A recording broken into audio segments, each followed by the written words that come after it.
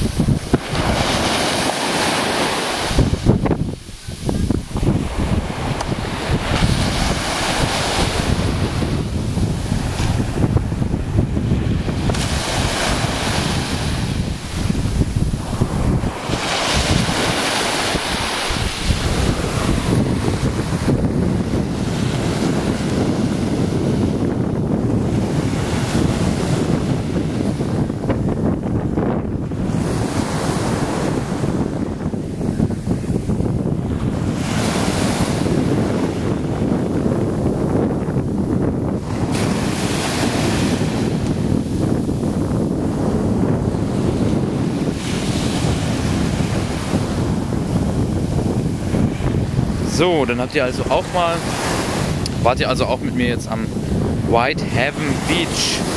Ich glaube, das ist, äh, na, ja, also einer der schönsten Sandstrände, den es überhaupt auf der Welt gibt.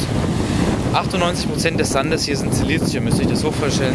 Man läuft irgendwie, ich weiß nicht, wenn ihr euch ganz, ganz feines Salz mal zu Hause, äh, ganz, ganz feines Salz mal zu Hause nehmt, so ungefähr fühlt sich der Strand hier an. Und das Schöne daran ist, das wird nicht heiß. Auch wenn die Sonne drauf scheint, ähm, das wird alles reflektiert und der Sandstrand ist sowas von kühl. Man kann da drauf laufen, wie auf, ja, wie, ich würde mal sagen 10, 10, 15 Grad hat der oder 20 Grad.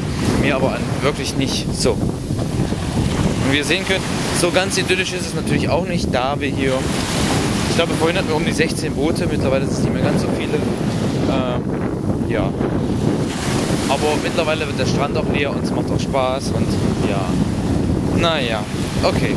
Also, bis zum nächsten Mal. Tschüss.